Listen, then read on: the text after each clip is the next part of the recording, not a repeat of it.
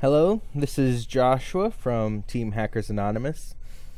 And um, what I want to do today is I want to just do a quick video on the how to implement the Linux move command in C. If you saw my previous video, there's nothing much new here. In fact, this is one of the same programs we wrote together, just a little more in depth for a quick bite-sized video. Alright, so what we're going to do is we're going to do vim move.c and we need some uh, include statements. We'll include standard io.h include standard lib or standard lib standard library .h however you want to pronounce it. Um, we will do string .h and we want errno.h. Alright. So what standard IO and standard lib do is they uh, help us with our file manipulation. They provide some useful methods. Um, they actually are part of what let us do the moving commands. And then these two here are really quite interesting, especially this errno one. Errno provides you with a variable called errno, which will um, whenever something manipulates a file or accesses something and it fails, it will set errno to a specific value. And then you can put it in a the errno into a specific function in string and it will actually print out what exactly went wrong. It's really a very cool and easy way to get some fairly in-depth error messages with very little work at all. So, since we're using this, we want to have a good print error method. And we'll have a char pointer called this. This will be the actual name of the um, program from where it's been called. Uh, this is the first command line argument file, which will be file name one, and this is file name two, which is your second command line argument. All right, and then this is how we actually print out the error. I choose to do fprintf uh, just because you can print out to a file and I print out to standard er. Your uh, terminal is considered standard out, and then standard er is just a way to. Um, it's kind of like standard out goes straight to the terminal, only it signifies there's an error. So we'll just uh, put in some nice little things to help us should an error occur.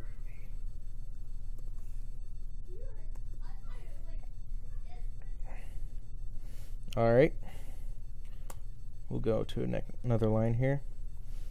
This, which is the file, or what we actually called, the program we called, cannot move file name one, or the first file, to file name two. And this is the really cool part. This is where we get our um, error string. And there we go, right there. That is all we have to do to get our nice error. And then, whoops, I forgot something.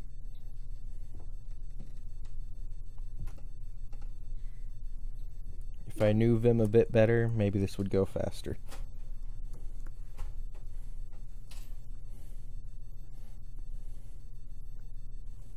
Okay. So, if we have an error, we want to exit. Alright. Um, print usage. Just if you know you have an syntax error, you can call this and it will print out that there was a syntax error and it will give you the correct way to call this function from this uh,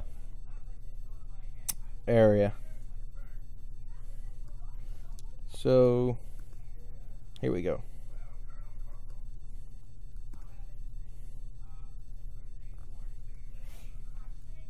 And fprintf so we can go to standard error. Oops. Alright, percent s, no, syntax error to help them uh, know it was a syntax error. We'll do a new line, say usage, now percent %s, which will be this, and old file name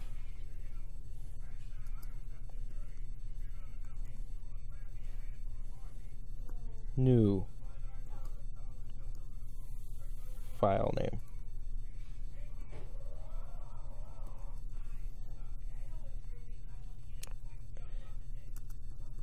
And there we go.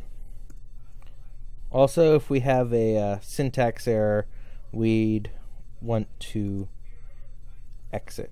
So we just say exit, exit failure.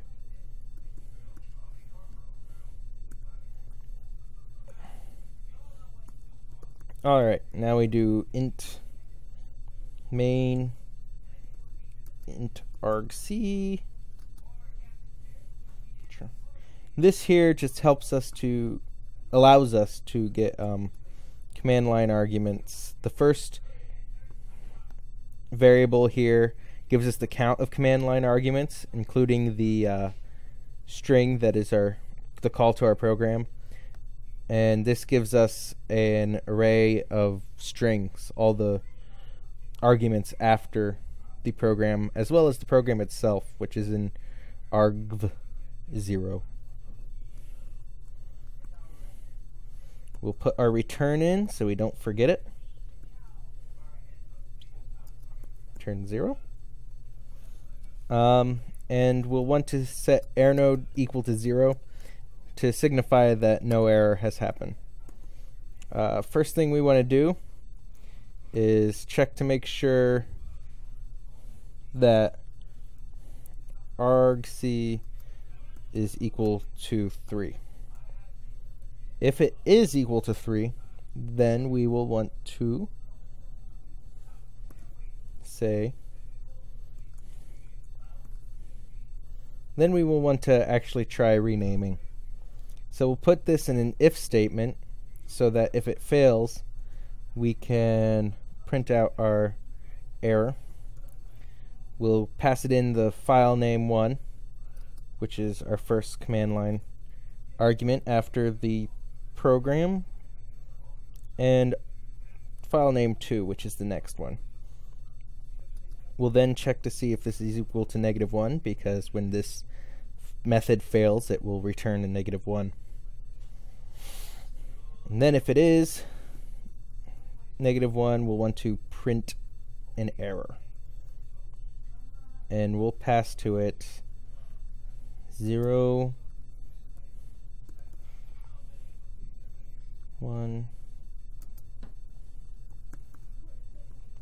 and 2. So that is actually the renaming of the file. All we have to do now is if we don't have three arguments, then obviously we've had a syntax error, and we'll just put an else, and we'll say print usage. And we'll give it our first argument.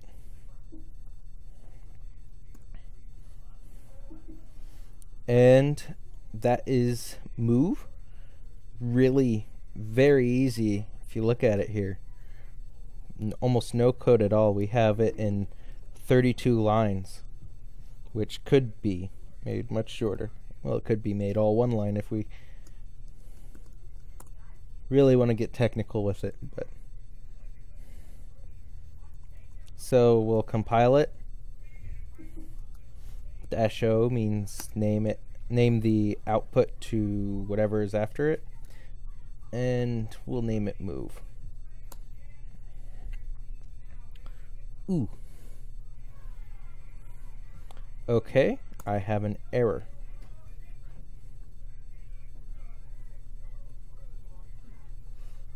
I forgot to declare this pointer to be of type char. Alright. Once again, I have another error. This time, I forgot a comma.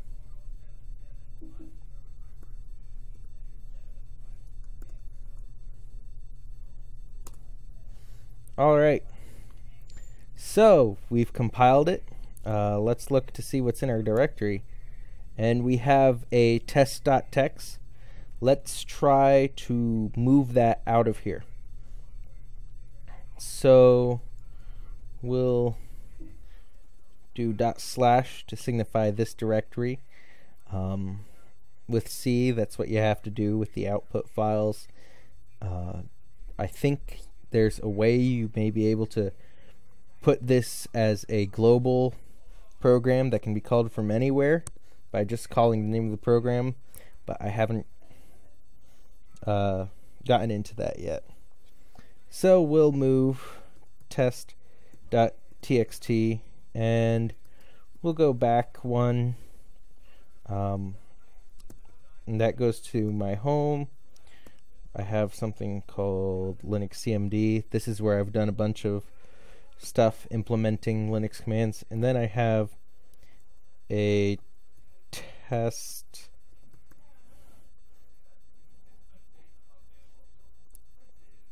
um, gen. Well, I'll just copy it into here because I'm not sure what I have there. So we'll call it test.txt dot one because I'm pretty sure I have one in there already. So we'll go ahead and move it. If you notice, it's not in here anymore. So uh, let's go to dot dot dash ln X command. And we'll list everything. And over here is our test.txt.1. So it works. Um, thank you for watching. Hope you learned a lot. See you later.